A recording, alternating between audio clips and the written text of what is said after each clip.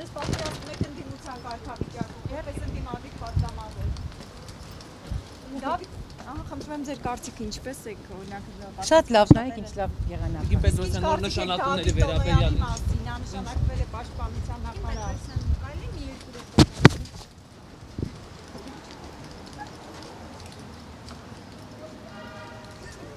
Լավ, էրա, Էլենին ստեոմակ սկանդալա, չէ՞։ Նոր ծաղրած ծաղրանկարներ բան կա, օրինակ դες բավարարված կզգաք, չէ՞ երեխեք ջան։ Չէ, այ դու այ դու որ այսքան միշտ են սիրով հետս խոսում ես, ամունդ կներես չեմ հիշում։ Հա ջանիկ ասա։ եւ ձեզ հարցնում ենք որպես արդեն նոր կարգավիճակում։ Ասացի, սիրով կաշխատեմ որպես որպես ընդդիմ։ Ասացի։ Ես դեռ տեղյակ չեմ, կներեք, կներեք, գիշերն են վերադարձել։ Գիշերն են վերադարձել, կներեք։ Եվ տեղյակ չեմ ինչա կատարվում։ Հիմա հազիվ հասել եմ ժողովին եւ եմ։ Լիքը հետաքրքիր բաներ։ Այ որ դառնայիք հանրապետական կարողա դուք էլ իմանայիք։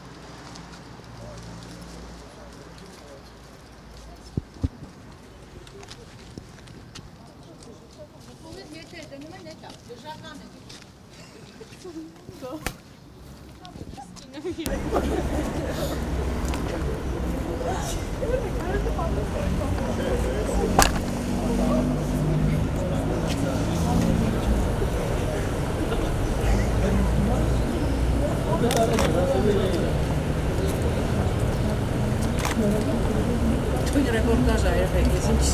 սրամիտ ա ամեն ինչ։ Թույն հարցերը բան։ Լավ եք զգում։ Շնորհակալություն, լավ դուք ոնց եք։ Հայլուն։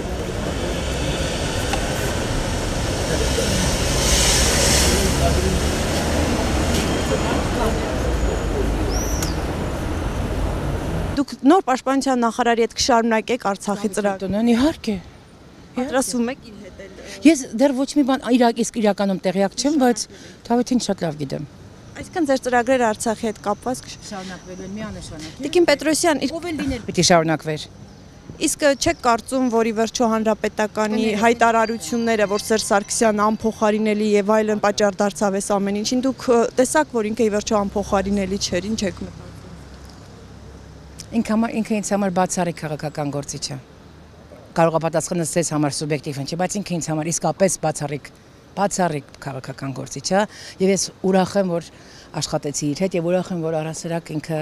եղել է մեր հայոց պատմության մեջ որովհետեւ հետո շատ հետո հիշելու ենք իր մասին Տիկին Պետրոսյան, ձեր թիմակիցները